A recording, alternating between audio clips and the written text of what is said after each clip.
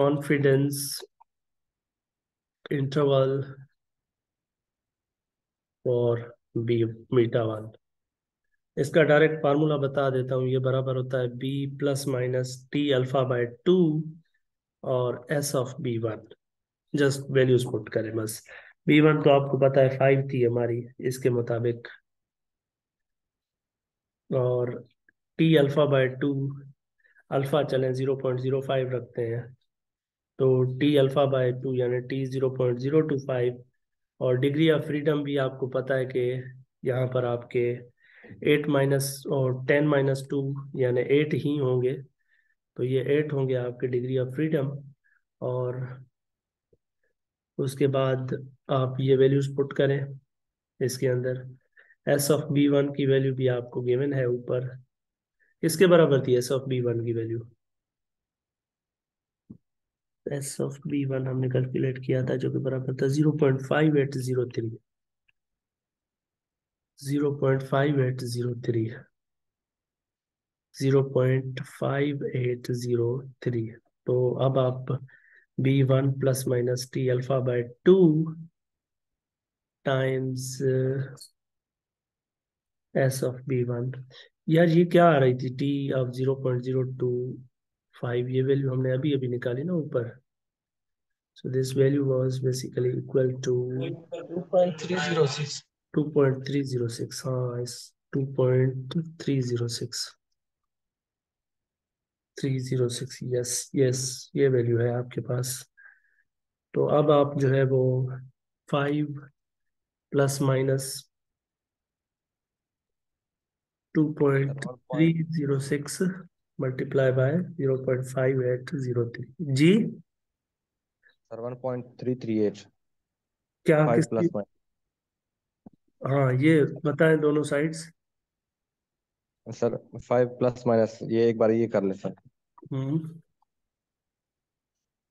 One point three three eight हाँ अब बताएँ यहाँ। अब ये बताएँ। Sir six point three three eight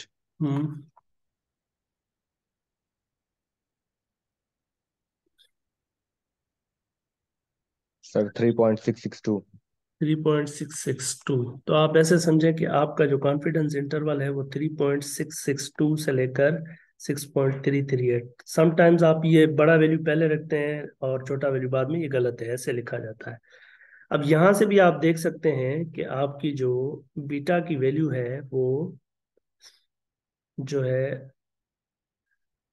आप ऐसा कर सकते हैं कि ninety five percent confidence interval confidence interval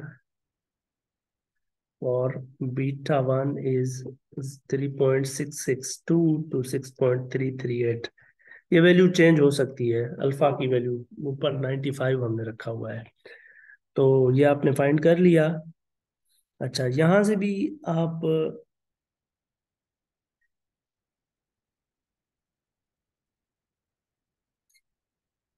ये सर इससे भी रिजेक्ट हो रहा है क्योंकि हमारी टी वैल्यू यहाँ लाई नहीं कर रही। हाँ वी तो यहाँ एक कमेंट है we can we can also see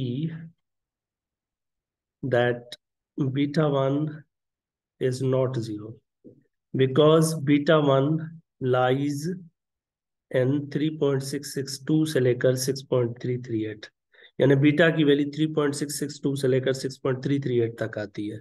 तो इसका मतलब ये ज़ीरो नहीं है कभी, इसके अंदर ज़ीरो इंटरवल नहीं है। तो यहाँ से भी आप नल नल को रिजेक्ट कर सकते हैं। यानी आप कह सकते हैं कि there is significant relationship between X and Y. Between X and Y. Yani cells and the student population. So we end here and uh,